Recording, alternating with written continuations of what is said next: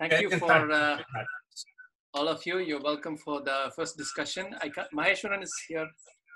Okay. Mahesh, I can see him. Okay. So, HCC, um, our, our key point is to educate youngsters on the key decision making points and the waypoints in HCC management. Uh, I think there is a slide that's going. Um, so I'll give you a brief algorithm and then we can, I'll also share the slides with you. So our, my first decision-making point is on the performance status. So we go by the ECOG status and an ECOG status less than two, where the patient is ambulant more than 50% of the time is considered a good performance status and anything on the other side is a poor performance status. That's the first one which makes a difference a patient with a poor performance status straight away goes into palliative care or best supportive care. Uh, in a patient with good Child-Pugh status, uh, a good performance status, we go into the Child-Pugh status and we divide it into two. Child A and B7 and anything more than B8 or C. So this will indicate their rough liver function. You also can use a MELD score of 10 or 12 which is again variable. Good performance status, we go into the Child-Pugh status. Uh, is my voice clear? Yeah, yes. Yeah, yeah. Okay. So for, for both, uh, in a child B8 or C, we do a negative workup for liver metastasis. We assess vascular invasion on CT scan, and we see whether transplant criteria are met. We are going to, uh, we have a a panel, Dr. Hema, Hepatology, and uh, Dr. Maheswaran, uh, to join us. We'll give you the details, but I just want to give a brief overview before we actually go through the details. Uh, on the transplant criteria, there are several criteria. The classical, most well established is the Milan one, followed by the UCSF. Uh, currently, we follow the up to seven criteria, and there are some units in India which follow the any size, any number criteria. So once your transplant criteria is satisfied, you can go ahead with transplantation. Uh, we will answer a few questions regarding this. If the transplant criteria is not met, despite a negative workup and a vascular, no vascular invasion, when the child, when the person has a poor uh, liver function status, palliative or best supportive care is, is probably the only option available. Sorafenib has not been tested well in child C patients, but some people can give this as an experimental therapy. For child A or B7, those with a good liver function, we also do the workup for liver metastasis. Uh, we'll give you the details on that. And if the metastasis workup shows positive lesions in the liver, uh, in the lung, or in the in the bone, then medical treatment is the only option. We'll discuss the different parts of the medical treatment. And if the workup for liver metastasis is negative, we look for macrovascular invasion, meaning whether there is an invasion of the portal vein or the hepatic veins. In the absence of, uh, in the presence of a macrovascular invasion, we take them back to the medical treatment. That's the only option available for them. And in the absence of a macrovascular lesions, we decide um, how many lesions do the patients have uh, we I have subclassified it into two, one to three lesions and more than four lesions. More than four lesions are being treated in some places with bridging therapies or downstaging and take them to transplantation. But the classical recommendation for a, for a student or a young surgeon is that anything more than four uh, lesions, medical treatment probably will work better. And uh, one to three lesions, again, I have subclassified them into single lesions or multiple lesions. And I have broken down the single lesions size-wise so that you can go through the entire one. In multiple lesions, I have classified them into the largest size, the cumulative size, and also the presence of high AFPs, which can affect the tumor. So we are going to do all this. This is, this is the rough one. Hello, sir. A lot. Yeah. Sir, the slide is not going to change. Sir. It's not changing, sir. Uh, this is this is not a slide. It's a mind map. You got it? No, sir. We can see only the first uh, no. the algorithm, sir. He is just uh, the first slide only. He'll move further. He is not moved the slides. Okay. Uh, can you see? I, I thought this is uh, this is moving. Each one is a different different set actually. Ah. Uh, can you can you see this now? Each one is adding up more and more. Uh, uh, Ilango, what he says is that the mind map is that the, the whatever the chart, uh, the, the, Ah. move from that, right? As, as No, no, this is the one. This is the one which we are going to discuss with this. This is Yeah. the only mind map we have put up, yes, right. and I'll sh- I'll share the next slide. Okay. So this is how we are going to frame our discussion. So uh, Mahesh, are you here? Yep. Yeah. So we we start with the first question to you. Uh, whenever you see a patient with a diagnosed HCC referred to you, uh, how do you use the performance status assessment in your practice? See, simple thing that you can ask from the history alone, how, how long the patient can walk without any help, without any breathlessness and any other issues. And also we can ask whether the patients are able to do their daily living activity um, and uh, also um, whether they are bed bound, whether they are, you know, um, wheelchair bound, all these information we can get from the history alone then we can categorize them according to the ECOG performance status. Uh, and if you want to do a you know like eyeball test, you can ask the patient to walk. Like you can ask the patient to walk like 20 meters and up and down and see how long will they take. Like more than five, you know if they can take probably about 12, 13. Uh, you know, sorry, if they walk, uh, for example, 10 meters one end to another end, taking about like less than 30 seconds or something like that, then it's a give a rough idea. But if you want an objective way of assessing the performance status, we can do what's called the CPEX test, where you can have a cardiopulmonary assessment by asking to do some biking and you can calculate the MET score, which will help us to decide whether this patient is for surgery or not. That is the way that we assess the performance. Thank you. So, uh, do you agree with the um, algorithm that if you have a poor performance status, regardless of the uh, tumor uh, status, you would defer the treatment to best supportive care? Of course.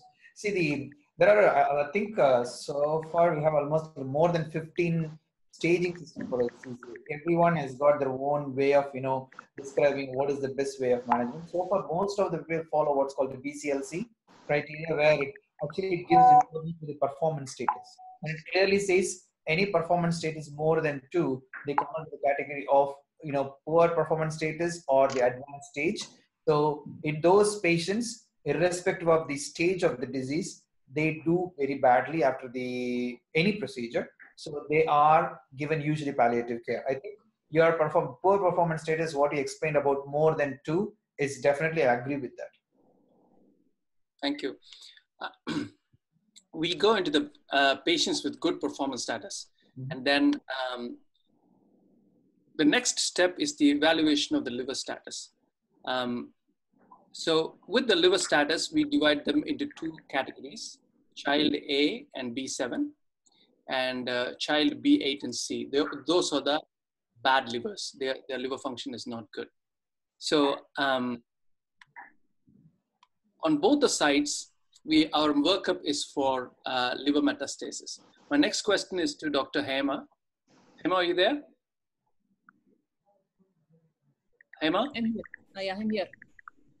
So, um, what what is the standard uh, workup that you do in your practice for uh, metastatic evaluation? So uh, metastatic evaluation. So ideally, uh, a chest CT and a bone scan that is done. And nowadays, that is to look for metastasis. But nowadays, if you have PET CT, if it is available, many centers are incorporating that also in the evaluation for liver metastasis. For after the diagnosis is confirmed. So, Uh, uh, the the HCC is not normally a PET avid tumor.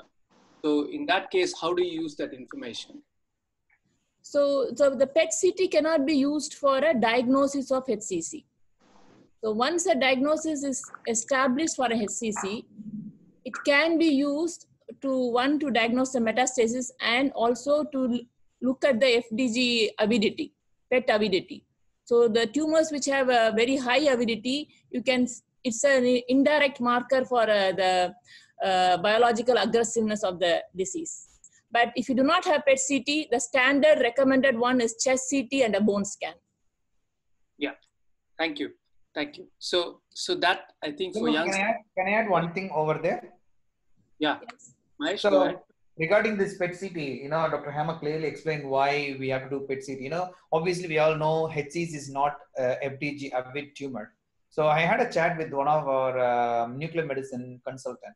What they said is, if the HCC is well differentiated, they won't have any uptake of FDG.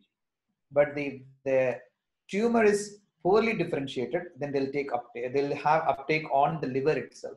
And again, the PET scan is may not be useful if the disease is limited to the liver because they won't show any uptake if it is well differentiated. Then it's completely waste of investigation. But if you are look, looking for a metastatic workup, if you do PET CT, if the tumor is outside the liver, definitely they'll have an uptake.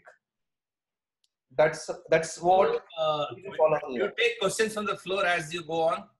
Yes, sir. We can do that. We can Yeah, clarify. um, Niket Shah, what is your uh, question? Uh, sir, uh, good evening, sir. Sir, slides are not expanding, sir. Even that tick and uh, plus, uh, nothing is expanding, sir. We are seeing the same slide from the first minute, sir. Uh, this is actually not a slide, Dr. Niket. This is a mind mapping tool. Can you yes, see sir, that? It, it's not expanding, sir. It's uh, s- same, sir. It's child A only we can see. Child A bar B7. Beyond that, we can't see anything, sir. okay, let, let me refresh it. Okay. Yes, sir. Thank you, sir. Uh, Ankit, what is your question? Uh, sir, uh, there are two approach for metas. Uh, sir, am I audible, sir? Yeah. Uh, uh, for metastatic workup, uh, one side we have CT chest and bone scan, and second side we have PET CT. So, if both option are available, what should what is the preferred uh, option? Uh, Hema to answer. So, uh, so if, if both are available, so that is the uh, your question, right? If both you have PET CT, bone scan, and then uh, a chest CT. Yes. So yes. I think I am I am doing now more of PET CT because uh, uh, it, it comprehensive. It, it also has the advantage of doing the CT scan. So especially if it has, the, the primary CT was done in another center, so we need a CT scan of the abdomen in our institute. So we get all, everything in a single imaging. So patient gets referred from outside the center for a HCC. Uh, so now I need one imaging in my center to see how it's the vascular involvement, and I also need a, a imaging for the metastasis. So then, if I have a PET CT in my institute, I will do that PET with CT because in single imaging I'll get all the information. But if I don't have it, it is okay. Chest CT and uh, bone scan is will do. Ankit, Are you okay, Ankit? Yeah. Yes. Sugni? Thank you, ma'am. Okay, Okay, uh, am I audible, sir? Yeah. Yeah. Sir, I wanted to know like what are the indications for metastatic workup, sir, in HCC? All patients. It's like a standard cancer workup. See, Correct. in HCC, the disease has two parts. The disease has a tumor part and the disease has a liver component as well. You need to assess both. So um, I don't want you uh, to get confused. We, we want to keep it very simple. Uh, there are several ways one can assess a liver status and uh, several ways of assessing the tumor. What we are trying to teach is a very simple method so that you can recollect and do as good as possible for the patient in front of you. That's, that's our aim. And in the discussion, you can, you can ask your questions and we will we'll be able to give you more and more information. Okay? Is that Yeah. clear, Dr. Ankit? Okay. All right. So we have the worker for liver metastasis and um, uh, so I would like to take the next question on the advanced liver side. You have a negative workup for liver metastasis and there is no macrovascular invasion. And uh, a patient with a bad liver disease and a, and a tumor is, uh, is uh, one of the patients, can, they can be, one of the best treatments is transplantation. So what, uh, my first question is to uh, Dr. Hema. What is the transplant criteria that you use in practice? So the standard criteria which is uh, used all over the world is the Milan criteria. So what it basically looks at is the number of lesions and the total size of the lesions. So less than three lesions and total tumor volume less than five centimeter. So why this criteria was chosen was because it is a tumor, it is a malignancy. So after transplant, when you give an immunosuppression, there is a risk of recurrence. So they want to, be, uh, transplant is a very uh, labor intensive procedure. So they want to choose a patient in which the uh, risk of recurrence is very less. So that is why this Milan criteria was chosen in which the risk of recurrence is less than 10%. But then they found that it was too restrictive. So then they expanded it to UCSF criteria in which total size of the lesions, that is if you have multiple lesions, total size should be less than 8 centimeter and a single lesion less than 4.5 centimeter. So we are using the UCSF criteria in, in our practice here. Uh, So if it is within that, the patient with a HCC, if the patient is within the UCSF criteria, we subject him for transplant evaluation. uh, Ilango, uh, do you have a uh, slide on your screen or is a plain screen now? Sir, uh, I have the ma- mind map and I have one more screen on that uh, for the slide. It's only plain screen now. You, you, you, you have to share the screen. Uh, okay, let me let me share again. Meanwhile, uh, there's a question uh, to uh, Dr. Hema. Is it acetate PET? I don't know what does it mean. Is it acetate PET? Acetate, but I am not familiar. Somebody asking. Mahesh is familiar. And another question is how to differentiate between multifocal HCC, HCC with intrahepatic metastasis. How does it affect management? I think uh, may, maybe So- address that. Mahesh? Yeah, I think uh, it's very difficult to differentiate multifocal HCC with the HCC with the intrahepatic metastasis unless, you know, uh, because both present similarly on the CT scan. And uh, even if you take a tissue biopsy, it's going to be the similar on both uh, How- How does it affect the management? secondary. So it's very difficult to differentiate between multiple. Sir, for if there is a multiple, obviously we need to, as Ilango rightly mentioned, for any HCC, there are two uh, two uh, factors that we need to consider. One, how bad the liver function is, how bad the tumor is. So we need to calculate, we need to assess the liver function separately and the tumor burden separately. Depending upon the tumor burden, then we need to tailor our management. And as Dr. Hema said, we use Milan as well as the UCSF criteria. And there are other criteria that we can use to decide whether, you know, which treatment option is better for the patient, especially if you're proceeding for a transplant. Then we have some more criteria that we take into consideration, like how high the AFP is. If the AFP is more than 400, or if the tumor is FDG avid, as I mentioned earlier, the most of the FDG avid tumors in the liver are very poorly differentiated. So that gives kind of, you know, information to us saying that these um, uh, HCC is going to recur even after transplantation. So we use certain criteria, but majority of the centers in the world they strict with either Milan or UCSF criteria. And then if even if the patient goes beyond this criteria, then we have to assess the suitability of what's called a bridging therapy for the patient, where you can try and do something to downstage the disease and then to put them on the transplant list. I think I I I, my, I assume Ilango is going to discuss that next. That's why I'm keeping quiet on it. But, but sir, I'll have to, something is, uh, some problem with the screen sharing. I'll Ah. just leave the meeting and join again. Right, fine. Me- Meanwhile, I ask uh, Dr. Hema to open the chat box, and there are certain questions. Uh, Oh yeah, I'm seeing the question, sir. So one, uh, I will go for the Raghavendra Gupta has asked, as MELD exception points are limited to Milan criteria only and not UCSF. So, so will selection differ based on disease or living donor? So yes, so definitely. So uh, the West, it, in West it is predominantly disease donor. So because the organ are so limited, so they use the MELD exception because these HCC patients are very low MELD. So where the allocation is based on MELD, so they will never get a chance. So they have MELD exception points. So for that, they are using Milan criteria. Uh, they are not using UCSF criteria. But here uh, in the East or in India, we are having predominantly living donors. So that is where we are going for the UCSF criteria. uh, Ilango, the screen is back. Yeah, you can continue. All right. So, um, so a brief overview. I just wanted you to know that there are multiple criteria for selecting transplants, and most of the surgeons are going more and more aggressive with uh, with uh, with transplant criteria. So we have progressed from Milan, and then we have gone to UCSF, And then uh, there are people who use the up to seven criteria in some of the tumors. And uh, we also have the metro ticket, which, uh, which is online. You can do the metro ticket calculation and then assess. But the bottom line is that you must have at least 70% survival at five years. So that is the basic criteria by which allocation happens in the West. Remember that most of these allocation criteria are based on disease donor transplantation and they don't want the list to be flooded with HCC patients at the risk to other patients. So they have got these restrictions. The US never changed this um, criteria from Milan uh, because, uh, and they provided some MELD exception points for them to get the allocation.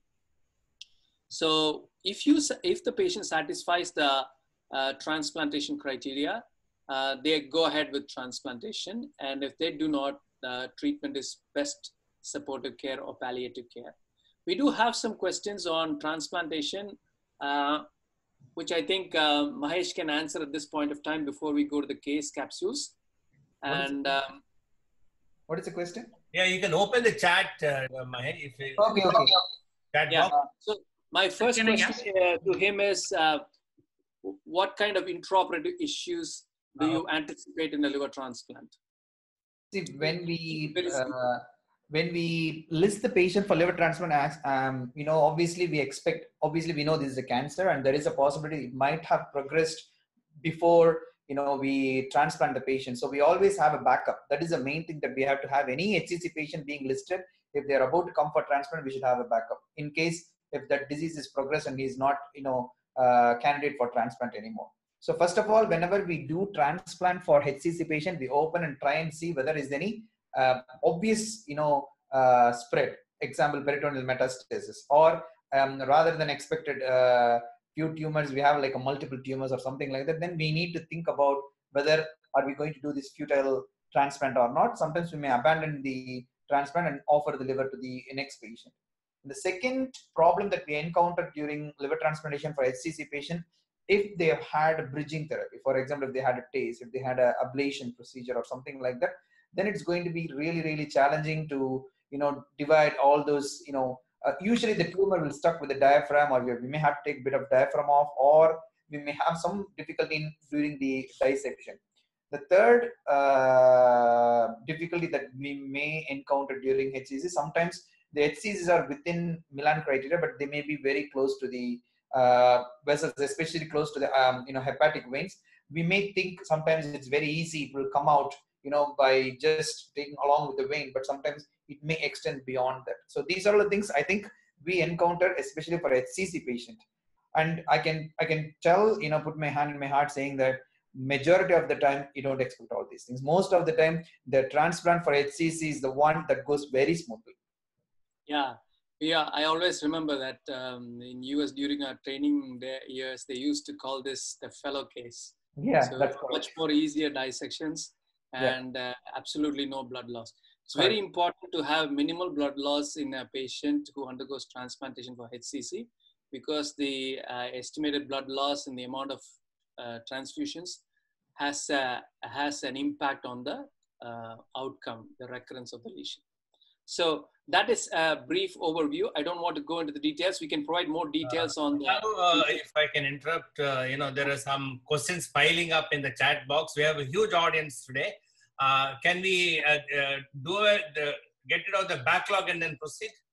Uh, Hema, Yeah. can, Yes, I can take it up. So uh, uh, the extended criteria for transplant, uh, Dr. Mahesh and Ilango dis- discussed multiple criteria there.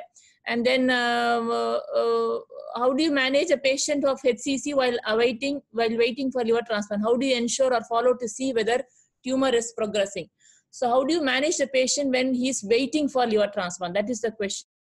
So I think Dr. Ilango, I'm not sure he's going to discuss. So once we list the patient for uh, liver transplant. So there is a waiting time. It may be three months, it may be six months, especially for DDLT. So we need to offer what we call as a downstaging or a bridging therapy. So downstaging means it is outside UCSF and then you want to bring it inside the UCSF or Milan criteria. Bridging therapy means it is within the criteria, but during the waiting period, we do not want the tumor to progress. So that is a bridging therapy. So what therapies we offer? Most usually, most common which we offer is the TACE. So we offer that, and after offering that, we follow the patient with imaging, usually at four weeks and then every three months. So I hope that answers that question. Then what scan you use to assess liver function? So we are not really, in practice, we are not really using any scan for uh, liver function. ICG tests are done in Japan. So we are assessing the liver function, so that the synthetic function, mainly by the, the liver function test, that is the albumin, the INR, the prothrombin time, the INR, the platelets. The platelets, if it is very low, that means the portal hypertension is very high. So the reason we do all this, in case the patient is going to go for resection. So the residual liver should be enough to regenerate and the residual liver function should be good. So we are primarily going by the uh, the blood test and the endoscopy. That is, if it is large varices, that means that is already really a shrunken liver, so that will not regenerate. So it is not a candidate for liver resection. So he has to go for a, probably a liver transplant. That's how we you assess the liver function. Any role for hepatic artery chemo infusion? Yes, in advanced HCC, you can try it, but I think it is not commonly used. I'm not sure if any centers are using here in India yet, but yes, it is in, used in Japan.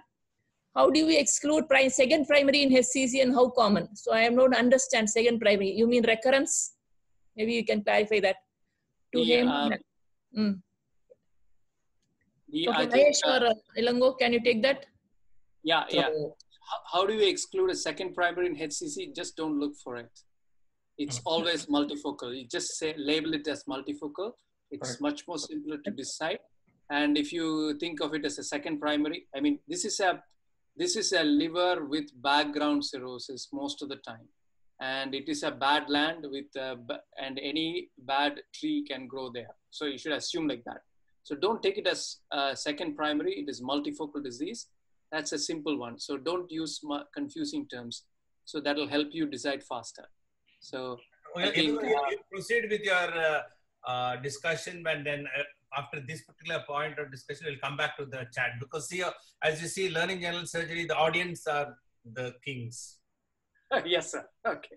we are not So, so once the workup of the uh, liver mets is negative, we look for micro macrovascular invasion. So um, I want to go through the whole whole thing uh, so that um,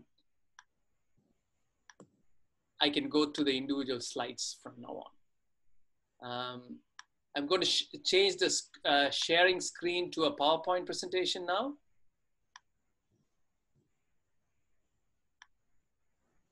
Did you get it? Yes. Yeah.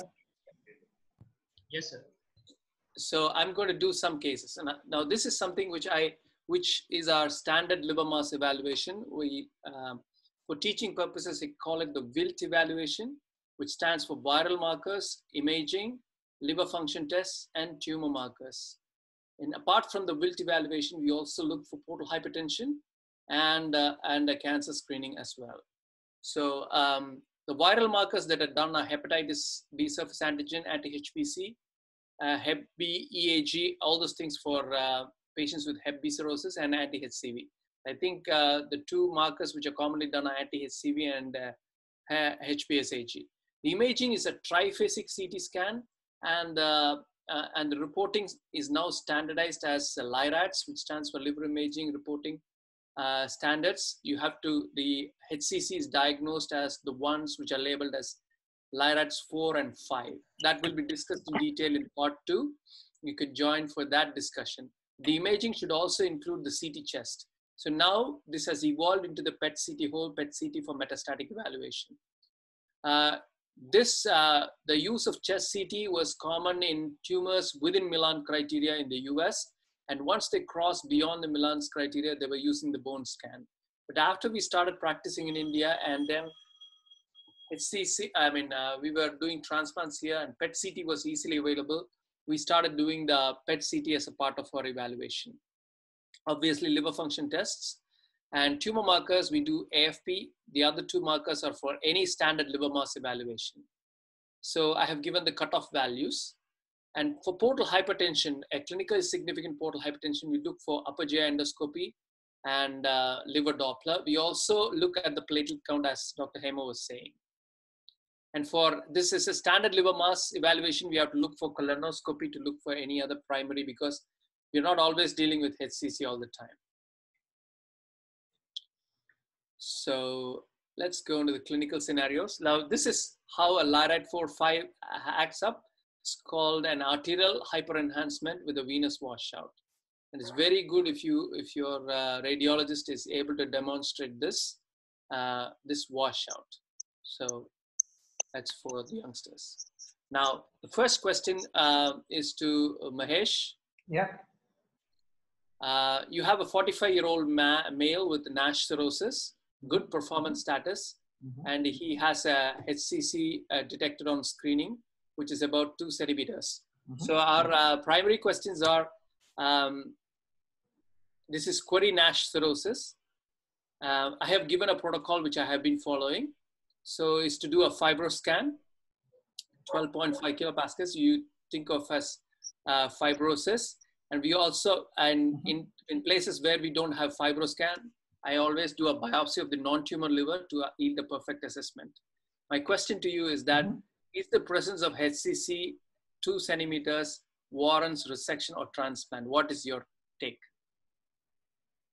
So again, going to the basic liver uh, status and the tumor status. If the liver status is child's A, looking at this 45 years old, good performance status, I don't know anything about the child status. If it is child's A and uh, the tumor is only two centimeter, so here we have a lot of options, and uh, the literature supports resection is the best way of you know treating these patients, but nowadays the other options like RFAs or even uh, TACE if they have a good arterial uh, supply uh, to the specific tumor or even sometimes they may say SBRT all those things are now evolving way of you know treating the small HCCs but the standard of care is if the patient is child's A and good performance status resection would be the option best option for the patient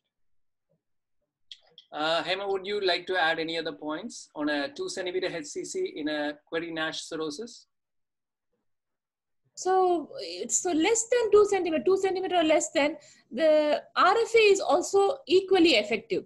Correct. When you look at the short term or even three year survival, it is equally effective, and it is uh, we are it is less invasive than a surgery. So in fact, uh, uh, many many guidelines would suggest that it is two centimeter or less, even if it is a cirrhotic. So RFA is probably preferred, and you go for if there is a recurrence of a salvage resection or a salvage transplant if there is recurrence. So I would prob- probably put this patient for an RFA rather than a resection if it comes to me. Correct.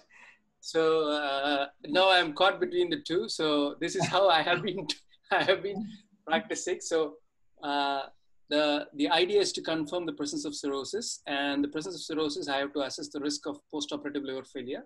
So I presume this is not a DCLD. Uh, that is how we are going to discuss now. So I found out some very good criteria. These are from Italy. They, uh, they have they have used this the right lobe volume to body weight ratio less than 1.4 and clinically significant portal hypertension. Those are the two assessments that they have done. So it is like this. If you have a large right lobe in a small individual, that ratio will be met. And with normal portal pressure, it is safe to proceed with less than two segment resection. Like Dr. Hema said, less, two centimeter tumors are also best treated by radiofrequency ablation. I'll give you some statistics in the next uh, few slides. And the question of surgery usually arises for lesions above three centimeters. Now, if you have a very small right lobe in a, in a cirrhotic patient, or the patient is a really large built with a normal size liver, or there is very significant portal hypertension like grade 2 varices, large spleen, a platelet count less than one, one lakh, it is, those patients are not going to do very well. So what I do is, those are the patients I do RFA, and if they, I don't have RFA, I do percutaneous ethanol injections, and then that's a bridge therapy, and my ultimate aim is to plan for uh, liver transplantation. So in these tumors, I use radiofrequency ablation. So I have taken a slightly, slight, slightly more uh, uh, confusing situation. Let, let's say if we add up another 0.5 centimeters in a cirrhotic patient. Uh, and I have asked the same question, ablation, resection, or transplantation. So these are the tumors where I have been doing surgery. Um, Mahesh, you can actually uh, jut in and give your points. You can you can always uh, interrupt at any time when you feel like. If I can interrupt are- for a minute. Uh, Yeah. There's another group following you on the Facebook, and uh, Ilango, have uh, the you have a question. What are all the medications included in bridging therapy? This is by Ganesh Gangadhar in this question. So uh, there is no medication as such. Yeah. So you are managing the liver failure. If he has any, uh, if he has portal hypertension, we put them on beta blockers. It is mainly bridging therapy is usually a local regional therapy. So local regional therapy is usually interventional radiological procedures, either a TACE or an RFA. Okay, thank you. Uh, carry on, Ilango. Okay, so um, uh, this is where I do surgery. They are left lobe lesions where you can do a left lateral segmentectomy, and um, superficial or surface lesions where you can do a non-anatomical resection with good margins. Lesions that lie on the lower border of the liver, that is in uh, segment 3, 4B, 5, and 6. Those are the lower border of the liver. It's very easy to tackle that. You can do that.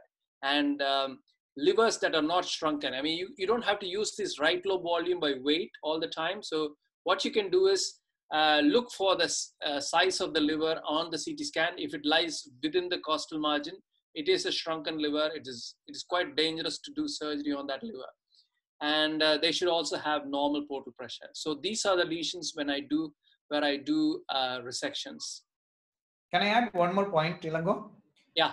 There is a tool on the Mayo Clinic uh, website. It's actually assessing the risk of surgery in a patient with cirrhosis, irrespective of whether it's a liver surgery or it is a bowel surgery, whatever surgery. It gives very good risk assessment score for the patients.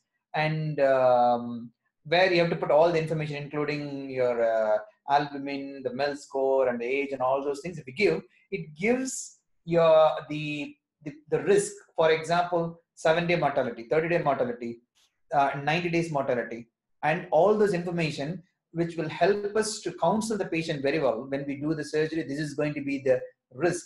And actually, as we all know, it's a collective decision. Once we all agree to go ahead with the resection, then yes, we can go ahead with the resection. The second point is the child, you said child uh, Pugh score of B7, right? That is a cutoff. The similar thing, there is a MELD cutoff, 12. 12 is the MELD cutoff. Any patients who has got MELD score of more than 12, they do badly with the surgery. So in those patients, we have to take a step back saying that what other options available. And what Dr. Hema says is correct. Any, any uh, lesions like two or below, then RFA would be an option. And what you also said, like the segment uh, three, uh, 4B, 5, 6, as well as the superficial lesions. Uh, one thing, they are easily resectable by laparoscopic method. So you're not doing any major surgery for the patient. Number two, I've spoken to the radiologists. What they said is if the lesions are very superficial, sometimes they may find difficulty in accessing the lesions with an ultrasound guided probe. So they may struggle. So in those situations, rather than you know uh, proceeding for uh, loco regional therapy, but it's easy for surgical surgeons to uh, remove the tumor you know very easily. So we can go ahead with the resection. Some questions in the chat box. Can I take it? Yeah, yeah, sure, Hema. Uh, I'll have a small announcement. Meanwhile, if anyone from the audience wanted to ask a question, please raise your hand in the uh, the uh, in your uh, box, right? Then I, we, otherwise you don't know who wants because a lot of mics are open, so I don't want them to be open. Yeah, uh, Hema. So, So I'm, I'm taking one question. They said, is biopsy mandatory, mandatory to prove HCC in patients with a background of cirrhosis? No. It's and previously we never biopsy the HCC. The reason being, when we try to do a biopsy, we may have a risk of tumor seedling on the needle tract that may preclude the option of transplantation in future if the patient develops a lesion over there. That is the only reason uh, we don't do HCC. But actually, it is a backfire for us also because we don't take a lot of biopsy from HCC and it's very difficult to assess the tumor biology in majority of the situation before we plan for any definitive treatment. Uh, consider location of the lesion if closer to major vessels, uh, then RFA will be difficult. That's absolutely right. Any lesion which is very close to the major vessels, RFA cannot be done. But there is another option called microwave ablation, which can be done. But again, the number of uh, the, the dose of the microwave ablation that we give should be less in the perivascular region compared to the other regions. We can achieve some control if the lesion is situated, you know, uh, sitting very close to the major vessels. But if we have the lesion away from the vessel, we can have complete, you know, uh, necrosis of the tumor that we can actually. Sometimes when we take the liver out during transplantation, if the biopsy result come, the histology come back as no active tumor. So I've taken a couple of questions. Hema, do you want to take some questions as well? So there's one question about how is usefulness of PIVKA marker in a clinical practice. So the protein induced by vitamin K antagonism. So we are using it. So if we have a liver tumor, which the imaging is typical of HCC, but the AFP is normal, normally we do PIVKA, which is usually high. So we use that as a diagnostic, and then it can also be used in the prognosis. That is, you do a local regional therapy, and then you can also see if it's going to come down. So we are using it in patients in which in whom AFP is uh, normal. Then I have some questions below which says, do you look for portal hypertension before deciding for liver resection? That is the most single most important component component to look for before you go for liver resection. How to look for it? I think they have already discussed. So clinically significant portal hypertension is defined as less than 10 millimeters of mercury. So how do you know if the, that is done by a transjugular measurement? So that is not available in all centers. So how do you know it? So if there is there is varices by endoscopy, platelets less than one lakh, the patient has clinically significant portal hypertension. And uh, okay, so we can go ahead, no? Yes. Yeah. Um, so um, let me close the chat. Okay. So a tumor less than three centimeters, if you do an ablative procedure, you achieve about 15 to 90 percentage necrosis of the tumor. So as the size increases, size of the lesion increases, the percentage of tumor that gets necrosed gets drops and the, and the technique also becomes complicated. You have to have multiple passes and it's not very accurate. So the incomplete treatment rates really become high. So I also wanted to look at whether transplantation is better in this situation. So I, I started getting this uh, data, this is from multiple sources. Your transplant one year survival standard should be 85. So that's the standard all over the world. Your five year transplant survival should be 70. So these are, these are from UNOS, you cannot break that. So most of the um, diseases will meet this criteria and um, the, the no, this is the normal risk of the liver transplant. So if you look at ablation, it achieves somewhere between 78 to 100 percentage at one year, which is almost similar to that you achieve by transplantation. So transplantation is uh, has an additional uh, disadvantage of lifelong immunosuppression. So if you can achieve the same one year survival with ablation, a short-term course, you have to, it is better for you to choose ablation. Now, ablation, the five-year survival has not been reported. If you see the five-year survival in transplant is really better. So if the patient is going to survive long, transplantation seems like a better option. So via media, we choose if the CTP is more than B7 or the MELD score more than 15. Transplant is probably the best option. I think a MELD score of more than 12 also makes the transplant a better option, okay? And if you compare surgery versus RFA, your one year survival is almost equal to RFA. But if you go and look at the three year survivals, surgery actually has a definitely better result compared to RFA in, uh, in, in, the, in the selected patients. Okay, you must be very clear. And some factors that you should remember about ablation. We'll go into the individual details in the next one, but uh, I just want you to remember this. The ablation zone must extend beyond the tumor, about 10 to 20 millimeters. And um, you usually evaluate an ablation at around four weeks by a contrast enhanced CT scan. And you see the non-enhancing ablation zone should be more than five millimeters surrounding the non-tumor parenchyma. So in all places, you know, you don't have the radiofrequency ablation or the microwave ablation. So you can also use absolute alcohol, which is available in most labs. The volume required is about, for every centimeter of tumor, you require about 10 cc's of alcohol. So 10 ml of alcohol is required. People have also used acetic acid 50 percentage. Um, and you require a slightly smaller volume for the same amount of necrosis. Ilango, if I can ask you, Yeah. or even Maheswaran can answer, what's the difference between RFA and microwave? And is there any very special separate indications for each of them? Uh, There, yeah, Mahesh. I think I think um, uh, previously we used a lot of RFAs, but the thing is, as Ra- Ilango rightly mentioned, you know, the, the, the heat sink effect is more with RFA than microwave, if I am right. That's the only difference actually. Yeah. Both both use heat um, to ablate the lesion, but the heat sink effect is less with microwave ablation. Microwave, yeah. That's it. Okay. So um, the next scenario is a 62 year old gentleman with fatty liver and HCC. Remember, this is this is not cirrhosis. So you just have a fatty liver and a HCC three centimeters in the right lobe. And um, obviously, the you're not considering transplant because the liver is still good, and um, you can remove uh, you can remove resect as much as 60 percent of the liver. So our treatment choice is not going to be different. So our treatment is going to be resection. What we should re- re- remember is that how much we can resect in a fatty liver. Do you need staged resection or FRL hypertrophy prior to resection? That means whether you need to decide about portal vein embolization. So um, the practical way is to decide that in a fatty liver or a compromise, any compromised liver, you have to leave at least 40 percentage of future remnant liver. This is the safest one. And if in any way your remnant is going to be less than 40%. it is good to use portal vein embolization for that hypertrophy to happen. So, um, so that is one thing. Mahesh, do you have any disagreement with? I mean, you you No, resect no. most of the fatty lesions Yeah, in yeah, fatty yeah. liver.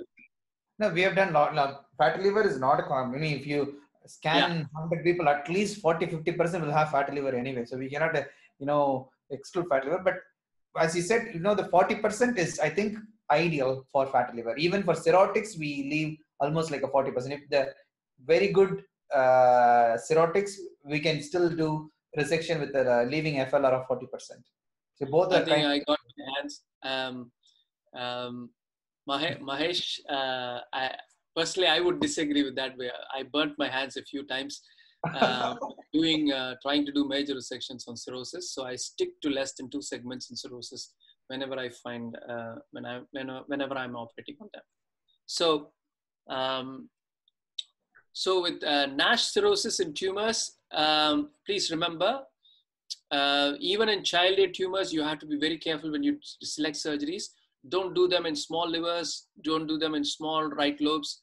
Don't do them in patients with significant portal hypertension. For fatty liver and liver tumor, you can assess for fibrosis using a fibroscan or a biopsy. And always limit to two segments or do staged resections. So uh, for, for the record, a bad liver from the point of liver resection is a child B7 or more, a MELD more than 10. I'm even more conservative than Mahesh, who uses a MELD of 12. Shrunken liver on image, grade 2 varices, presence of splenomegaly, ascites, even small quantity is dangerous, and a platelet count of less than 100. Hema, you agree with all this? Yes. Yes. One one thing I would like to add, Ilango, you know, all these criteria, I think I shared, a, I discussed a case with you with the bad liver, your point like B7, MELD12, obese, Yeah, diabetes, short stature. We did a resection. I mean, it's more not only two segment, it's actually three segment resection. I mean, it's all like uh, individual patient selection. I it, it, it's come to the you know at the end of the day you have to select the patient very well. If the patient is very good and patient is willing to take the risk, you know, probably you can go ahead. Touchwood, my patient is doing really good. Okay, so I'll, I'll go back to the algorithm. Please wait. Um, I think PGs can take one single, if they want to say no, say this in a single sentence, they can say any decompensated liver patient, no resection. Okay, it's only in a compensated liver disease patient we talk about who we can resect, who we cannot resect. That's So correct. the, all these criteria will, will apply only for a compensated liver disease. Decompensated, no resection. So in single line, PGs can say it. That's that's very well simplified. So we have done one centimeter, two centimeters, and three centimeters single lesions. So Hema, there's one point we have never covered. What about the one centimeter HCC where you have a, a, a doubtful lesion? what is your take on observation in these patients and how do you follow them up? So it depends on that one centimeter lesion is picked up in which imaging. So suppose if you're picking it up uh, on ultrasound, so you have to do a contrast imaging. So either a CT scan or an MRI. And uh, it, we may have a very, very well uh, typical imaging features of HCC, we may not have it. So usually when it is less than one centimeter, we have to observe the lesion. So we have to observe means we have to do serial imaging. So we have to do the next imaging at three months, three months, three months. So if there is a growth of the size of the lesion, that means it, it will fit into the LI-RADS score, it will move up. So that means that is typical of HCC. If it does not, it is very difficult in cirrhotic patient, especially to differentiate a dysplastic nodule from a real neoplastic nodule. So that is why uh, there is the confusion. So you look, there is one centimeter lesion, repeat the imaging at three months and then see. So that, that is the key factor you should remember. The lesion is less than one centimeter and there is highly suspicious of HCC. The next follow-up scan should be a CT scan, should be done at three months, not six So months. normal, remember that normal surveillance uh, CT scan in a cirrhosis is at six months. Usually we, we screen them every six months in cirrhotics. But once you have a doubtful lesion at one, less than one centimeter, the next imaging is at three, centi- uh, three months. So here we go into the next uh, size is a single tumor, say five centimeters. Whenever the lesion crosses three centimeters, ablation falls off.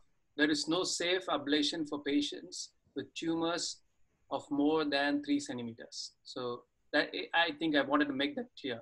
So once you cross that, ablation falls out, and any tumor more than three centimeters requ- um, requires an arterial therapy for bridging or uh, downstaging and uh, we still have the option of resection and transplantation in these patients. Now, Milan criteria is a single tumor, five centimeters, and the UCSF has a single tumor of 6.5 centimeters. So let me pull up. 6.5 centimeters is really large for resections, but I think hanging tumors, like the one sitting on the lower edge of the tumor and hanging out, the size being six centimeters, it's still, you will not remove much of the non-tumor liver, and it's probably much more easier to do. They are still resectable lesions. Um, on uh, the other deeply placed tumors, I think arterial therapies and transplantation are the best possible ones. Uh, Mahesh, your, your thoughts on that? Yeah, I agree completely. Again, if the patient's uh, if the patient is non-cirrhotic, uh, if the lesion is sometimes we do see non-cirrhotic liver also we see some HCCs. In those cases, obviously, uh, depending upon where the lesion is, we can go for either even hemihepatectomy, like uh, three or four segments we can remove. If the patient is cirrhotic, then we need to follow the rules of cirrhosis. If the uh, you know good uh, liver status, still we can go ahead for resection, even with six- 6.5 or 5. But again, if the liver function is not good and the patient is probably going to be a transplant, then we need to think about the bridging therapy or downstaging therapy. Mahesh, I've, I've, I've broken down it for the understanding of the. The screen is not moving. The screen is not moving. I'm just looking for it. Uh, okay. Uh, let's go back. It's a single share. lesion. After that, it's not moving at all. Okay. Some problem is happening. Okay.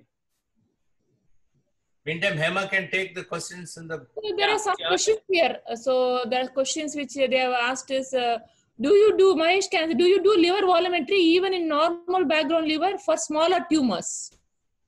Uh, if I'm, you know, like eyeball test, if I see the CT scan, if I think the remnant liver is going to be you know, good enough, I don't usually do liver volumetry. Unless otherwise I have a doubt, I don't usually do it. So small tumors, we usually eyeball. How do we calculate the functional liver remnant? So it is done radiologically. Mhm. That's the question. How do we calculate the functional liver remnant? I think usually we ask for the radiologist, we calculate the whole liver volume and then we can calculate the, the amount of liver that we are going to remove. Then we can subtract, like we can, for example, how many percentage of liver that we are going to take. Uh, as Ilango mentioned, ideally we leave about 40% of the remnant liver. That's what we do. But obviously it's been calculated by the radiologist for each and every segment. They go around. There is a uh, dedicated software to calculate the liver volume for. So there is a, a question from uh, Parekh for surface tumors, two centimeter, ablation or surgery. Surface tumor, better to go ahead with the surgery if the liver function is good. Good. In non-cirrhotic liver, next question, non-cirrhotic liver with HCC.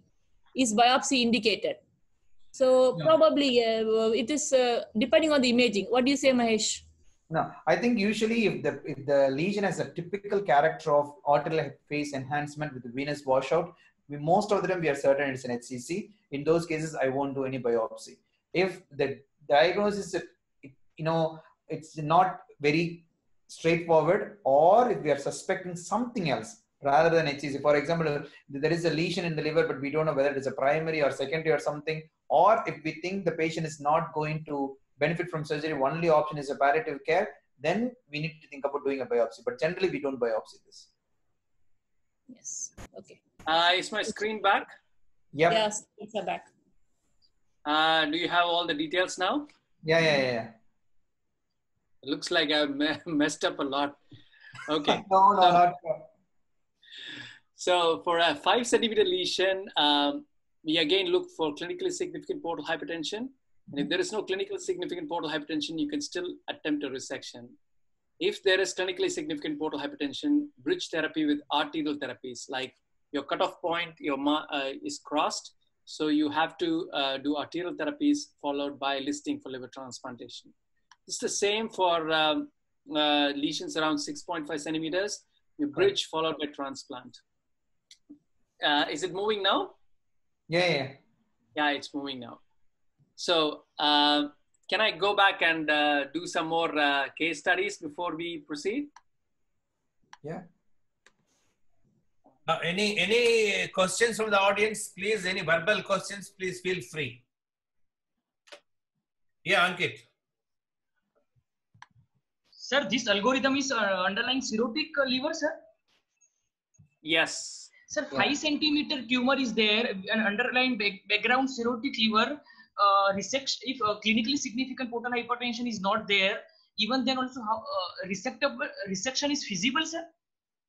Five It's- centimeter is too big, sir. It's it's too big. It's too big, but it depends on the position, your lower margin, your size of the liver. Uh, we have give, we just discussed that before.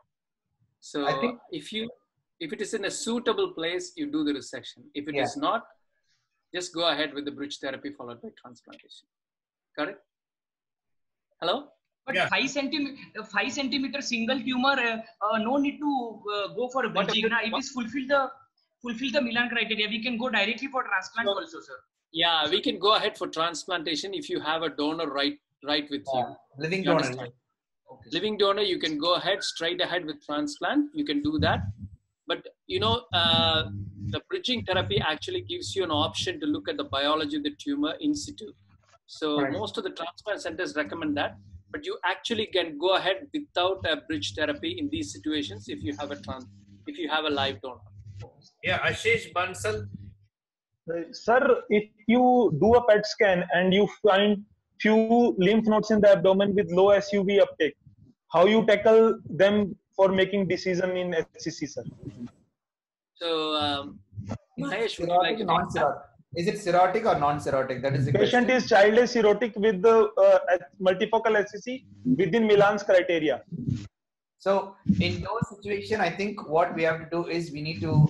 Uh, it's, it's actually lymph node uptake. Usually the HCCs they go to uh, lymph nodes, but majority of the time they go to the lungs and then bones. That's why we always do that. But there are instances where we can get uh, lymph node metastasis as well. If the tumor is FDG uptake, but the lymph nodes are not FDG uptake, it's safe to wait and watch. And sir, tumor is also not very much SUV uptake. Tumor SUV is almost 3.5 and lymph node SUV is 3. So do we give importance to those lymph nodes or does we can ignore them? it's not we never we, we should never ignore these kind of findings what we need to do is we need to keep an eye on them fall with the follow-up images and if time of if we have still strong suspicion there is a lymph node which is enlarged that you want to you know make sure there is no tumor in it at the time of transplant the first thing you do is take a lymph node and send for a frozen section if the frozen section come back as positive it considered as an extra hepatic disease in those situations you would not proceed with the transplant Yeah, uh, DB, whoever that is. What is your question? Uh, sir, in con- uh, good afternoon, sir. In continuity with the last question, if the lymph if the lymph node in HDL is positive, yeah uh, is it a contraindication for resection?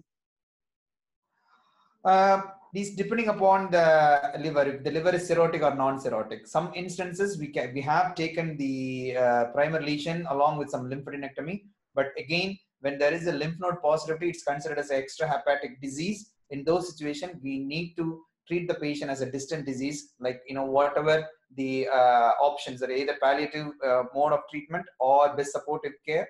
Uh, I think I think that are symptomatic. treatment. That's what we need to offer for those patients. Ilango, do you agree? uh, Yeah, I agree. Actually, uh, if you look so at the you mean BCLC, only option is sorafenib?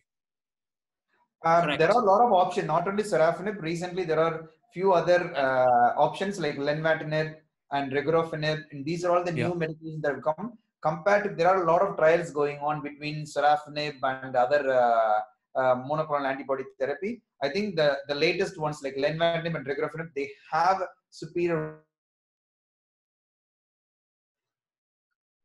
Mahesh, your, is the voice clear? Hello? Yeah, I think. Uh, Did you did you hear, Pansa? Yeah, the last one got garbled. I don't know whether did you guys hear me uh, with the answer? last sentence, you know. Yes, can- sir. Yeah, you're clear, sir. You're clear, sir. Thank you, thank you. Okay, fine. Uh, sir, my second question is Yes. uh, multiple uh, multiple HCC. uh-huh. In the background, there is uh, the liver is normal. Uh, so, what is your size and number criteria for the resection? So any multifocal HCC, for example, if you can, you know, if the liver, if there is no extrahepatic disease, if we can leave enough remnant liver, even if there is three or four on the one side, if we can resect it, that is, if there is a young patient, you know, probably we can attempt that. But if it is bilateral lobar, I think we should still consider it as, you know, advanced disease and uh, put them on the you know stage D, stage D or advanced disease uh, criteria, and then treat them with a palliative option. Right. The um, Kush, i- i- Parik, what is your question? Uh, sir, when we go for a resection of HCC, do we prefer a segmental resection or a negative margin resection is preferred like we do for colorectal liver mets? Ilango, do you want to take that or?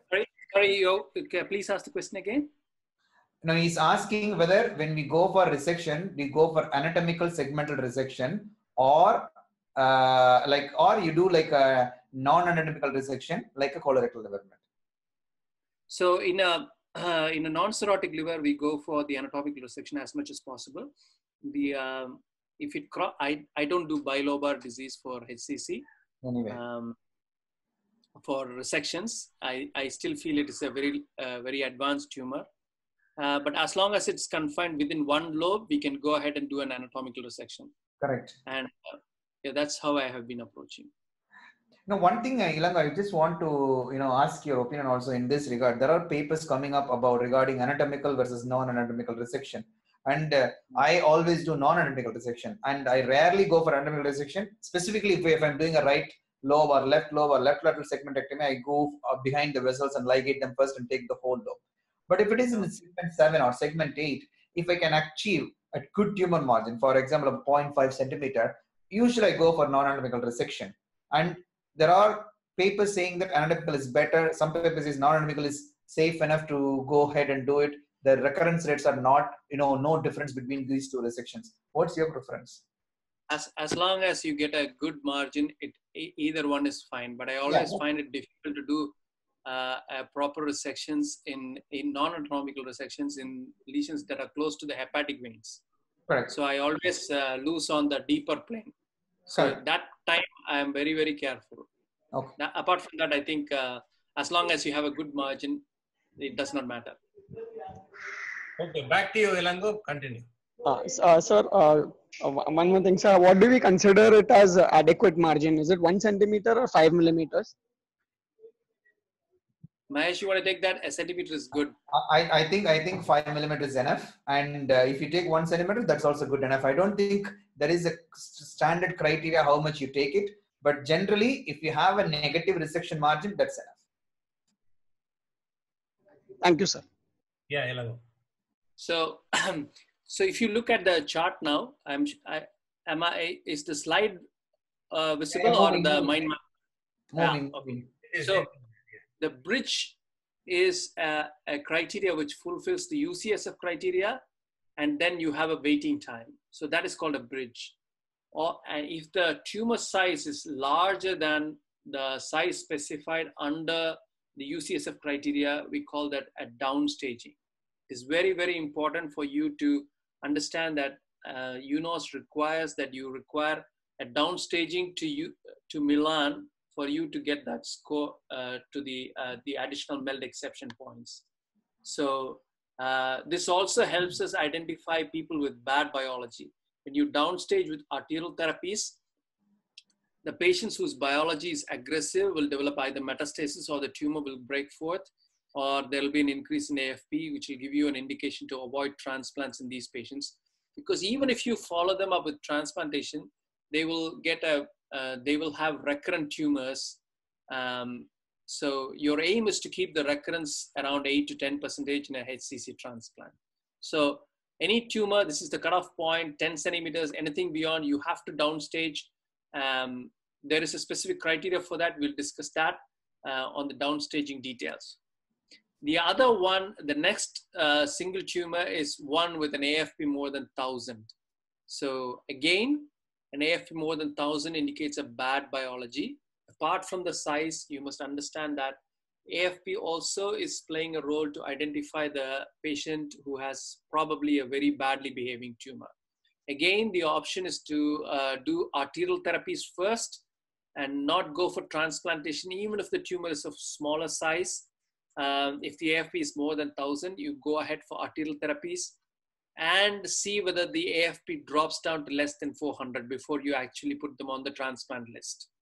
So you downstage again, followed by transplantation. So this is the option here. Um, now, when you have multiple lesions, you have to identify the liver specific tumor burden by two, uh, uh, two size criterias and the biologic criteria by measuring AFPs.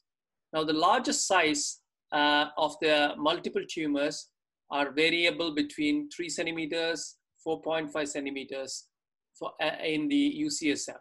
In both these, they fit into the criteria for transplantation and you can either do a direct transplantation if you have a donor or you can bridge them when they are going to wait for transplantation. Anybody more than five centimeters, you again downstage, you can downstage them by using arterial therapies followed, followed, with, uh, followed by transplantation.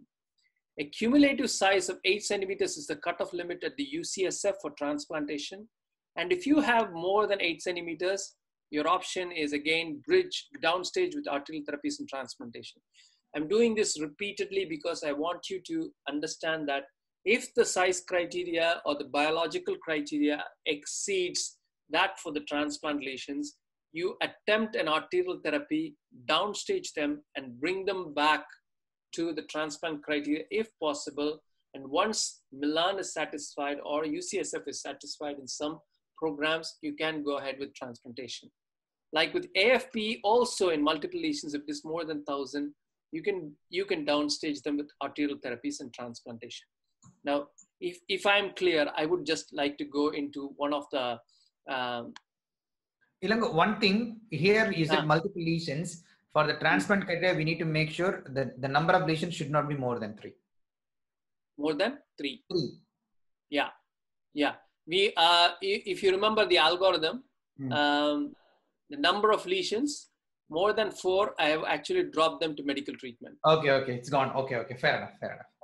So, so that's that's how it is. And um, I want to see one. I want to share one more share here. So there is one question here. So Okay. ruptured HCC, is it a contraindication for liver transplant? Mahesh, you can take it. Ruptured HCC, is it a Uh, contraindication for liver transplant? most of the time, yes, because we don't know whether it has gone into the peritoneal seedling or not.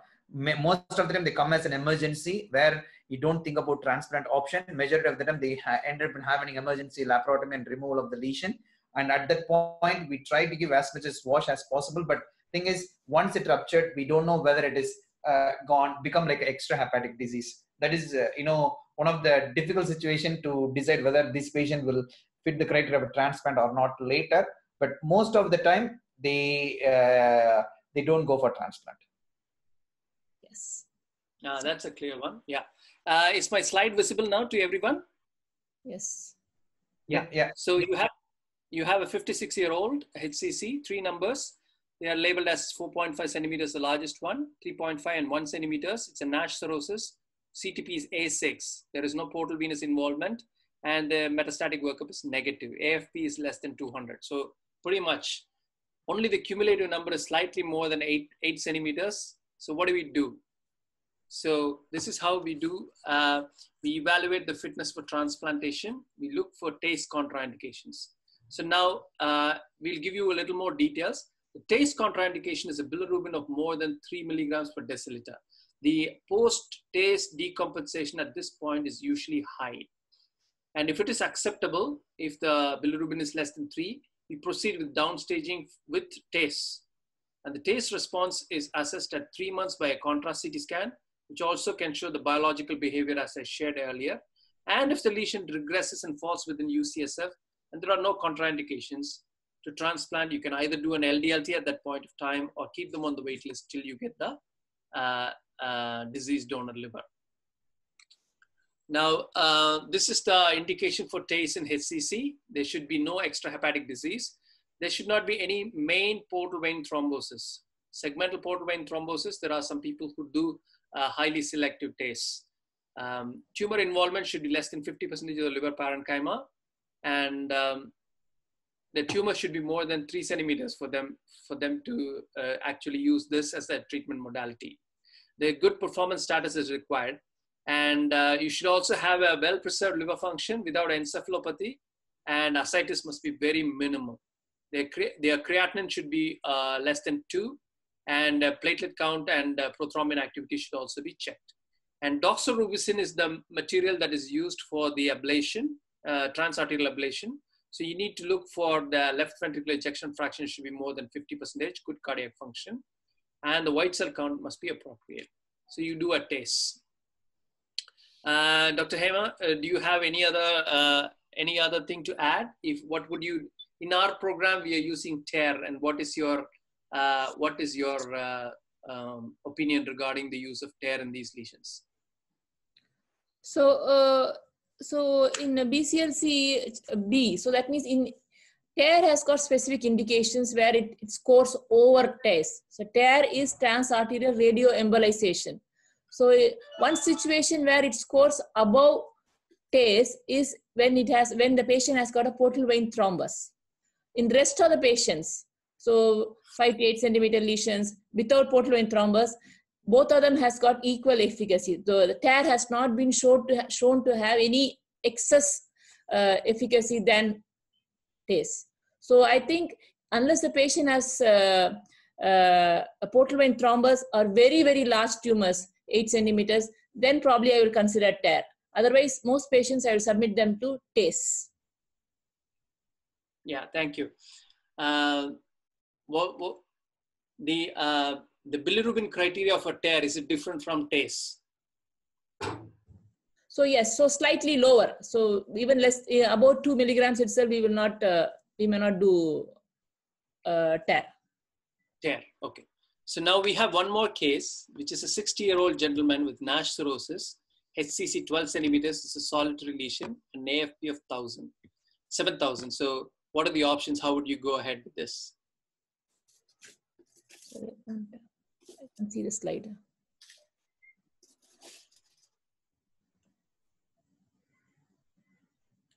So, so basically, yeah, uh, Mahesh can take, her. yeah, sorry.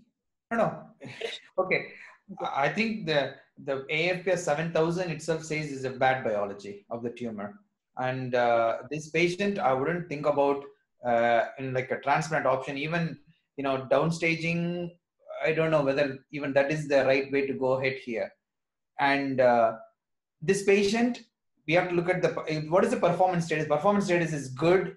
And if the lesion is, you know, uh, one-sided where there is a possibility of resection, yes, we can try the good liver function, but transplant option, I would think twice before doing anything for this patient. I don't know whether him would you agree or? No, he is not a transplant candidate. No, so uh, he has to go for it. Up to seven criteria, five criteria. What is that? Current so, my, oh, you just put the info. Okay, okay, fair enough, fair enough. I got it.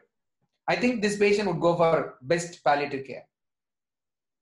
So um, Hema also feels that best palliative care is probably the the only option. So you So- have both the both the bad criteria. You have a large size tumor, And, and you have a and you have a bad biology reflected by the high AFP. But still, I personally feel that in a good performance status, when the patient says, "I want to try," TACE or TARE is still an option. You can downstage it and try. If the lesion does not downstage, then you go for best palliative care. At this point of time, if the patient has got a good performance status, I would I would uh, find it very difficult to recommend best supportive care. So Ilango, So that if, is it is I- one, if it is one sided, even a good performance status, good liver function, safe to do right hepatectomy, 12 centimeter lesion, would you go ahead with right hepatectomy? yeah, That's what I'm thinking. You know, if even if it is AFP 7000, if it is single sided, easily resectable, good performance status, good liver function, without, I mean, like obviously, oh, there's a cirrhosis. I, I one of the one of the counseling one of the counseling what I would do is that um, there is a high chance of recurrence. That I would do that, yeah, and yeah, I would be more aggressive on the metastatic workup. Okay. Correct. Mm. So I want to go to one more case with uh, transplantation. So here is a 49. I have a question, 40 yeah, Hello, sir. Yeah. Yeah. This uh, this tumor 12 centimeter and alpha fetoprotein is uh, very high. So if we are planning downstaging with the help of TACE so after how many cycles of TACE we should declare that now you go for palliative care? How many cycles uh, we should try? so you do the first one. Yes, sir. You do the first one. You see that is the choice uh, criteria which I which I had written. No, so trans for transplant selection you have to meet this. If it is more than thousand, you have to repeat TACE. Your alpha fetoprotein should come down to less than 400, and the tumor also size has to come down to four centimeters. You got it? So 404 centimeter is the cutoff for transplant. Yeah, yeah. So oh. should come down to yeah. Thank you. So his Ankit also wants to know when will you say, okay, he is a, a TACE failure. Yes. So yes. he's not responding to TACE at all. And when will when are you going to put this patient to only to palliative care? yes. So, so that means so for that you generally give two sessions. So after two sessions of TACE, if there is no significant necrosis, there's no reduction in size. Even if uh, even if uh, leave alone the transplant criteria, if there is no reduction in size, there is no significant necrosis. That means he is refractory to TACE. So these patients will have to go on only best supportive care. Or yeah. Thank you. Thank you. Got it? So we have a, a, 49 year old uh, male patient with NASH cirrhosis with HCC within US, UCSF. Now he's come for liver transplantation. Now you have done the transplantation and the liver allograft function is stable. And uh, what is your take on the immunosuppressive plan? And I want the answer from both the sides. I want Mahesh to answer this and Hema to answer this because I think surgeons may also differ uh, in this in these protocols. So what I do is uh, so uh, basiliximab use of induction basiliximab it uh, generally we are not using it as a routine. We are only using it in a patient with a possible renal pre-existing renal injury or we feel that he is going to go for a renal injury then only we use basiliximab. Otherwise in the beginning it's going to be standard immunosuppression uh, triple immunosuppression. So steroids CNI and uh, MMF but uh, by the end of one month or two months, we would like to come down on tacrolimus. We cannot stop it, but we would like to come down on the levels of tacrolimus because CNIs has got a proliferative effect on the tumors. That's what we so, so we, we will put them on everolimus, two to three months. I, I think we also agree with the same thing. You know, obviously, for any, we don't usually give any induction for any of our liver transplant patients apart from steroid. We can never give basiliximab. We never give uh, thymoglobulin unless otherwise the patient's serum creatinine is more than 1.5. That means they have some pre-existing renal disease. In that case, you want to delay the CNI induction, you, you can give basiliximab. But in Indian setup, I've never given basiliximab for any of our patients. And again, regarding the post-op immunosuppression, this standard protocol. You go for triple and then try to wean off uh, or reduce the dose of CNIs by the end of three months. So you can by the after the at the end of three months, you can think about reducing the dose of tacro as well as you can slowly introduce everolimus and you can go for uh, you know dual therapy from month three. That would be the majority of the units throughout the world are following that. The one thing that we have done in Cleveland is we categorize them into high risk category and low risk category depending upon the pathology. So if the patient has got multifocal tumor on the explant pathology, or if the patient has got any vascular invasion on the pathology, or the tumor grade is you know more than two, then probably these patients there is a high risk for recurrence. In those patients, sometimes we may think about starting the everolimus earlier than three months. And for those patients also, we do aggressive surveillance like three monthly CT, four monthly CT scan for two years. But if the low risk category where there is no tumor found on the explant pathology or there is no any vascular invasion, then those patients go on low risk category. For them, we do say a four month CT scan for one year and then six monthly for two years and then yearly. Those patients we wait even sometimes after three months, you know, the graft function is not stable enough, we may still delay a little bit. But three months is the most of the time is a cutoff point where everyone tried to change the immunosuppression from uh, CNI from CNI plus to everolimus. Yeah. We, Ilango, we also follow. many people asking what is seven seven four So- four criteria. So it's usually listed as that's a slide prepared for my notes. So uh, I have to explain that I've been seeing these questions now. Yeah. The up to seven criteria. The up to seven criteria is takes the size of the largest lesion and the number of lesions. Together, the sum must be seven. And when you have a high AFP and you downstage them, the sum must be less than four. So that is the criteria. You understand? The first four stands for the size, and the second four stands for the number of lesions. So the sum should be four, five, or seven. The size plus the number of lesions. You get it? Or do you want any any detailed explanation? Yes, so uh, that seven seven criteria is the way I write my notes. Unfortunately, it, it has got into my slide, and I just realized only when you asked a question. Uh, I would be careful to see um, my own uh, deficiencies in uh, remembering things coming up on the slides. Uh, is it clear, um, uh, Dr. Tony Jose? Okay, I'll continue. yeah. Okay. So so that's it. So what one more slide. Um, so now we have a 42 year old male with HCV cirrhosis. Now that's a slightly complicated one. And I wanted to add one more layer because uh, not all the time we have uh, NASH cirrhosis and HCCs going for transplant. We get from Hep Cs also. And uh, it's uh, 4.5 centimeters in the right lobe, MELD is 15, CTP B9, and uh, uh, clinically significant portal hypertension. Obviously, transplant is indicated, but my key question is whether Dr. Hema will agree with our protocol. It's transplant or treat, or treat or transplant, treat and transplant. What would you do? So, uh, so the main problem with hepatitis C and HCC, so or transplant, a liver transplant, is that if you go with a positive virus into the transplant, there is going to be a flare and a, uh, the graft will fail after the transplant. So, if possible, if we can make the patient, uh, patient RNA negative before the transplant, that is the best option. So, as you have written, so if the MELD, MELD score is less than 19 or 20, and you also have a donor, you can treat the virus first and then go for the transplant. And especially at four weeks, generally they become negative. And if you have a living donor, you can uh, you can go after that. But suppose if the MELD score is more than 20, patient is already decompensated. They may worsen sometimes when you start them on the direct acting agents. So in those patients, we will have to probably go for transplant and then treat it. And uh, once uh, immediately after the transplant, as soon as the liver functions are stable, maybe as early as 15 days or maybe usually around one or two months, we can start the antivirals. But I would prefer generally, if possible, to treat the virus before we go for transplant. Thank you, thank you, Hema. And um, am I right in saying that uh, if the MELD score is more than 20, the patient has refractory ascites and hepatic encephalopathy, you would still uh, treat the HIV post-transplant, HCV post-transplant? Is that correct? Yep.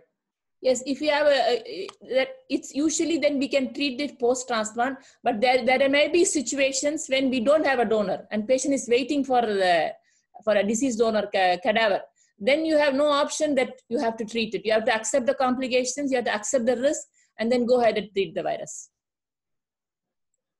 So thank you, thank you for both the panelists. I think we've had a good discussion. So Ankit, what I wanted, I have a question. wanted Ankit keeps uh, raising his hand all the time. What's the question? Yeah. Sir, uh, here uh, actually if patient having HCV related cirrhosis with HCC and uh, patient is liver transplant candidate and MELD is more than 25. So here there are a lot of controversy. Some people and uh, uh, patient is liver transplant awaiting and if period is more than six months.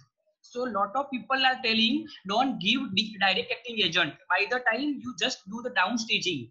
Uh, and uh, uh, once a patient got an organ, do transplant. But uh, as per the literature, as per the EASL guideline, what they, are recommending DA if transplant period is six months or more. Because there is entity called MELD purgatory. Because sometimes what will happen, it will the down uh, the MELD will come and the uh, the priority of the patient will reduce. So in that situation, a lot of controversy is there. So what to do, sir? Ideally. So the concept of MELD purgatory, so that that usually uh, uh, applies to the Western uh, world where the the organ allocation is based on MELD. So like patient, uh, he gets a MELD exception or even his original MELD is something like, uh, let's say 32. So he's high up on the list. He would treat his uh, HCV. It will come down. It will come down to something like 25 or 26. He still needs a transplant, but then he loses the advantage of waiting on the waiting list. So that is called as MELD purgatory. So in our country, I think it's not that complicated. So either we have a donor and we go ahead and do it. If we don't have a donor and we have a waiting time of more than six months, we go ahead and treat. So I think uh, we don't have to worry about the MELD purgatory in Indian scenarios. So can I I, right, uh, can I before, before transplant, can I start uh, antiviral treatment, ma'am? If a transplant waiting period is more than six months? Uh, I think we have to explain the risk that patient may decompensate further and, and you can start it. You Uh, explain and then you start it, yes. Okay. Thank you, Hema. Dr. TJB, Bala, what is your point? Uh, actually, at the end, I will I'll come because I have some uh, very pertinent questions. I'll, I'll come at the end. Okay, Bala. DB? Hello. Yes. Uh, so my question is, uh, can we start and in case of hepatitis B or C before going for resection? Is there any indication for to treat hepatitis B and C before resection, or we should treat it after resection? Get Hema. I think uh, so. mother- So when when we're talking about resection, that means we are presuming that uh, you know the underlying liver function is good. So Yes, hepatitis B, there is no problem. You can treat. And uh, hepatitis C, uh, when we say we are go- talking about resection, underlying liver function is good. So yes, we can treat. But do you do, I mean, resection and treat or treat and resection? That's what I, his question, I guess. So Yes, uh, uh, that I think period that is there should be no harm in probably waiting for four. At four weeks, most patients will become uh, RNA negative.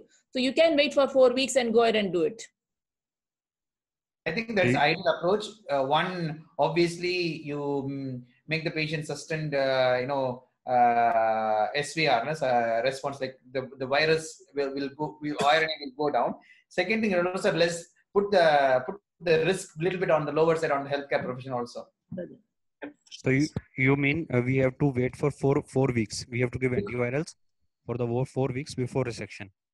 Yeah, Yeah. The, the reason for four weeks is most of the most of the patients will become virus negative by four weeks. The, the, the course will be for 12 weeks and the, the sustained viral response we have to wait for six months. We don't have that much time to wait. So Correct. four weeks is reasonable time to wait. By that time, most patients will be will become virus negative.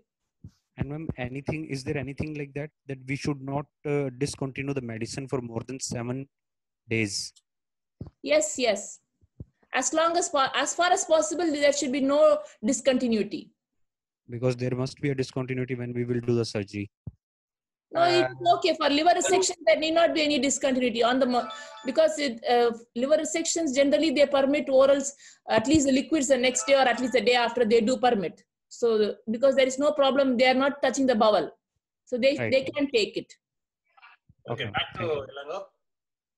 Um, that uh, uh, you can actually ask more questions if you have. That is pretty much the overview of HCC treatment.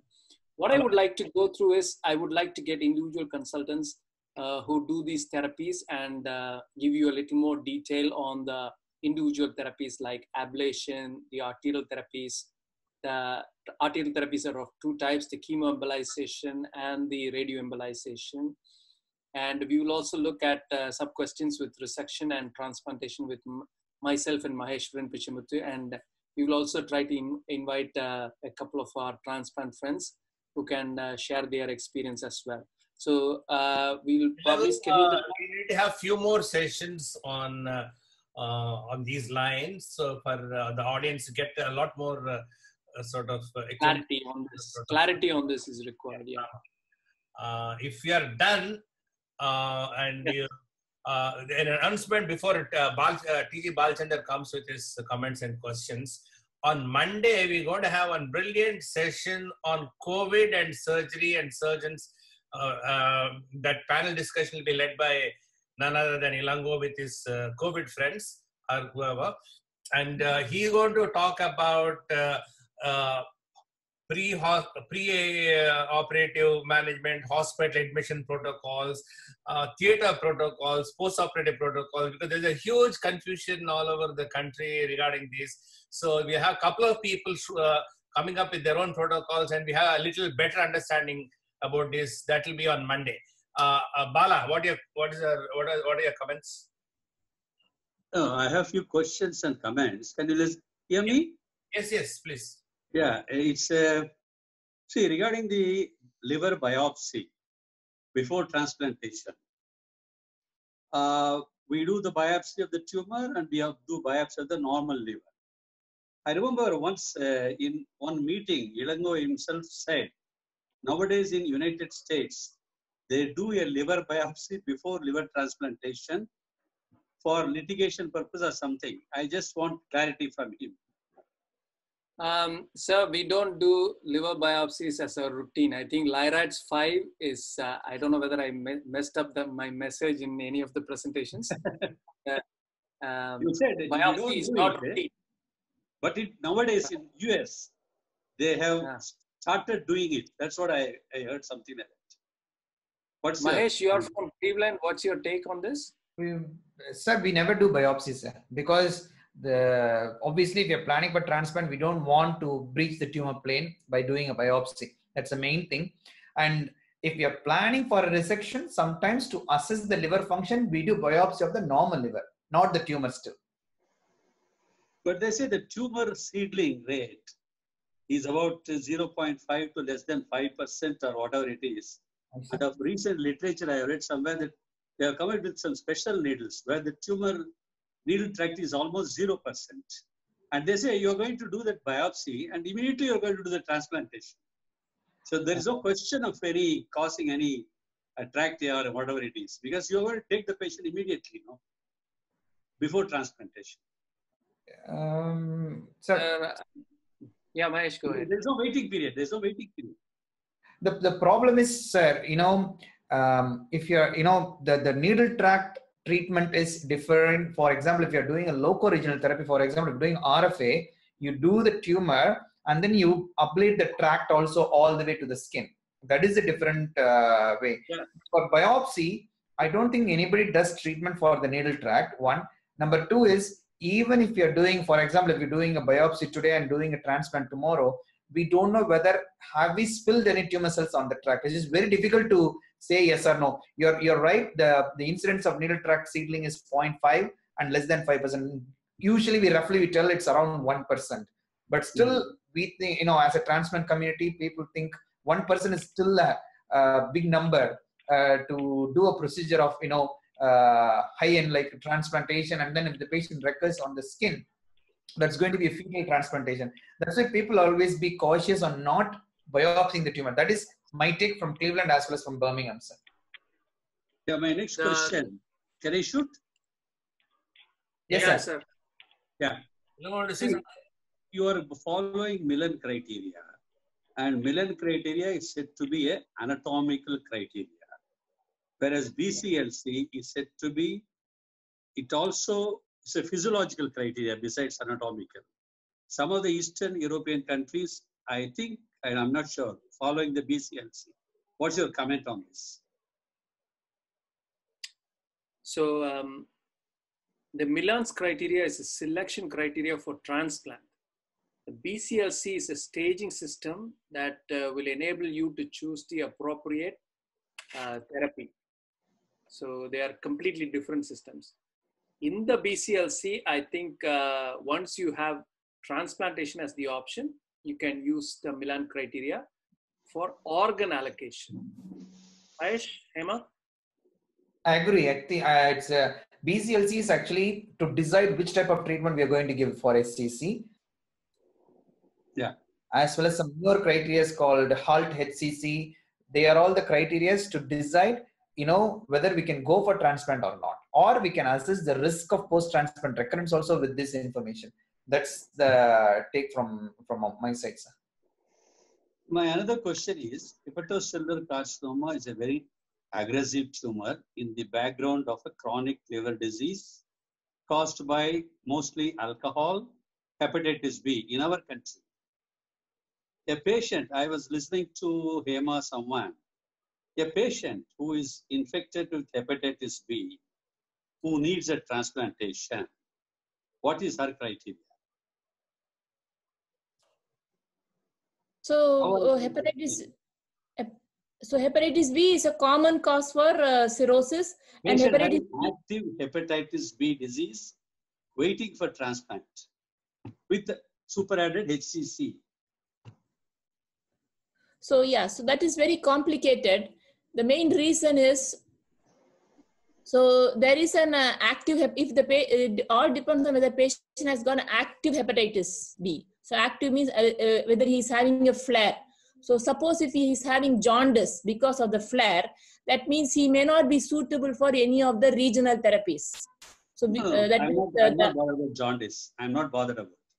What the textbook says, you are talking about hepatitis C, and you will see, you will go on the background of the viral load, isn't it? You said.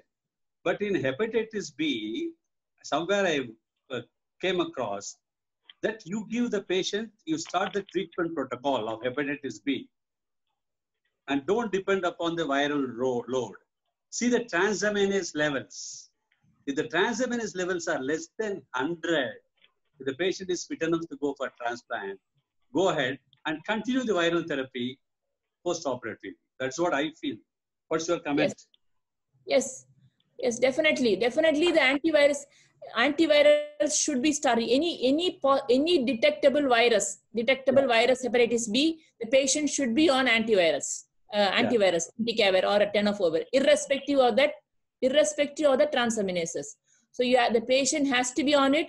The patient has to be taken through the transplant on the antivirus. And if the patient has got a significantly positive DNA, in addition to the oral drugs, the patient should also get immunoglobulin at the time of transplant because the new virus will, new liver, sorry, the new liver will also get the virus. So Yeah. you remove the deceased liver, you put in the new liver. So we don't want that new liver to get affected. So we have to give immunoglobulin in addition to it. Whereas when you take the patient for transplant, if the virus is not detectable, we can manage without the immunoglobulin. The main problem with the immunoglobulin is the cost. Like the it will the cost will just go up by another seven to eight lakhs. Bala, there are a few more people asked waiting for questions. Okay, That's tell so much. tell him. That's all. Thank you. Srinivas uh, Banoth, what is your question? Uh, any other uh, questions from the audience, please, before we close the Good session? evening, sir. Good Yeah. evening, sir. Can I ask my question? Yeah. Suppose on imaging model, uh, suppose on imaging uh, imaging a uh, HCC tumor, there are dis- discordant results, and alpha fetoprotein is not significantly elevated. Still, you will not consider a biopsy, sir. Sorry, we're not able to get the question. What is that? The tumor size is big Suppose on suppose on imaging you are getting a discordant results, and alpha fetoprotein is also not significantly elevated. Still, you will not consider a biopsy in such a case, sir. No, um, I think some of the patients are non-AFP secretors. In those patients, you don't have uh, AFP level elevated. Sometimes you may have a normal AFP, but according to the LI-RADS criteria, if it fits criteria like the have a classical um, artery phase enhancement and venous washout, we always consider as an HCC. Then again, the treatment depending upon the liver status as well as the tumor status, what we have discussed so far. I think uh, uh, we, ne- I mean, even in that situation, we try not to take a biopsy unless otherwise you label the patient as a palliative care where you're not going to go for transplant option or any other option. Then you're justifying justified in doing a biopsy to confirm the diagnosis for a palliative mode of treatment. So I think Mahesh's question is in, with discordant imaging imaging results. Suppose, suppose you have, done- image is you not have very done it- typical. Even a Oh, CT, imaging suppose you have done both imaging CT and MRI and Uh-huh. both are discordant, sir, not suggestive of HCC, then what you will do, sir? We have to, we have to do it then. in that case, yes, we have to. We have to get the biopsy done. But again, in the it's a, it's a very unique situation where we have to counsel the patient very well. Even sometimes there is a possibility of needle track seedling, or you're agreeing with that. I mean, all this counseling should be done to the patient. In those situations, yes, you have to go for a biopsy. Uh, sir, one more question, sir. In a lesion of one to two centimeter size, how many imaging imaging modalities you will do, sir? One cross-sectional imaging or two, sir? It's uh, Srinivas, it's depending upon you know if there is a classical feature, uh, one to two centimeter typical arterial phase enhancement venous washout. If you confirming HCC, then that's fine. You don't need to repeat the imaging. But if the imaging is not very clear, sometimes we we call it as a too small to characterize on the CT scan. In those situations, you have to do a dual mode uh, imaging, like you can add an MRI that gives more information regarding the tumor. Uh, like, sir, in diagnostic algorithm of That's all we have HCC for you. There are enough questions from you. There are other people waiting. Dr. Subbarao, uh, Dr. Subbarao, you have a question or something? Okay, I think uh, there are no more questions. Uh, Ilango, shall I close the session? Yeah, sir. Um, and uh, we can do the next session uh, early next week Yeah. on the individual. It's a, it's a, I should say it's a wonderful session. Thanks, uh, Dr. Mahesh and uh, Dr. Hema. Uh, I, I think we should have two, three more sessions uh, in this particular area for people to get a lot more, uh, uh, uh, say, better understanding of the subject. Thanks. Sir, It's a- thank- it's a Sir, great- thank you. One more thing, you know, if the audience have any questions, is there any possibility they can ask us, you know, via the Learning General Surgery Facebook so that we can also answer for them?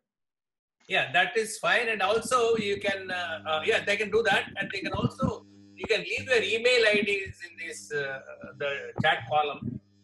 Okay, sir. Uh, because, because, you know, it's just not that they, they can get in touch any point of time. Okay, sir. I'll type the email address so that they can take it if they want. Hema is uh, uh, very fast these days. So, sir, Dr. Ilango, Dr. Ilango, thank you very much for your inspiring talk Thank you, sir. and your team of people who have been absorbing your uh, questions also. Thank you very much. Thank you, sir. Thank you. Thanks once again yeah, for the uh, audience. There uh, you can see the chat box with uh, Dr. Hema and Dr. Mahesh's uh, and also Ilango's email IDs. And please get in touch with them. Feel free.